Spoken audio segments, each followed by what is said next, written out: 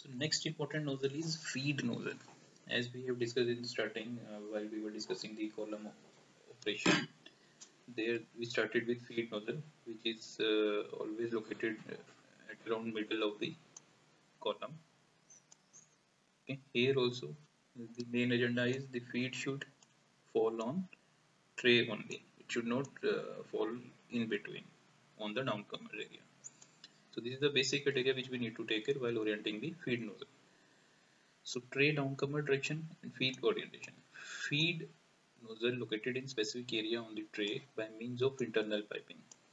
If we are not able to uh, pass this feed on tray, we can go for internal piping. If you see here, this kind of arrangement can be planned, but in consultation with column vendor.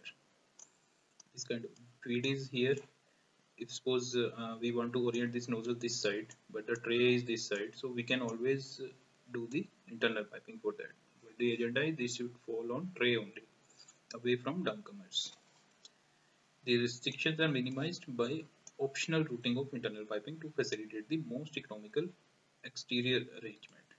Okay this arrangement should be economical. Considering that we can always discuss with vendor and we can always ask for internal piping so that vendor requirement of following the fluid on tray are fulfilled. Okay, so feed nozzle is very critical nozzle. So this is a list of fundas which we have already covered under a 2 minute funda series where we are trying to cover the topic within 2 minutes. In few cases it is exceeding more than 2 minutes but we are trying our best to cover it within 2 minutes.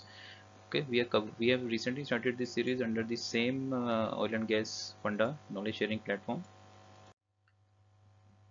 earlier we had covered uh, our 14 topics along with 62 videos.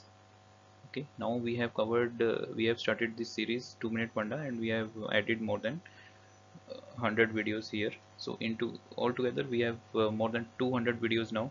I'm sure you are watching it under standard and HD format along with the subtitles. Many more are on the way. So stay tuned. I'm sure you are enjoying the videos. So see you in the next part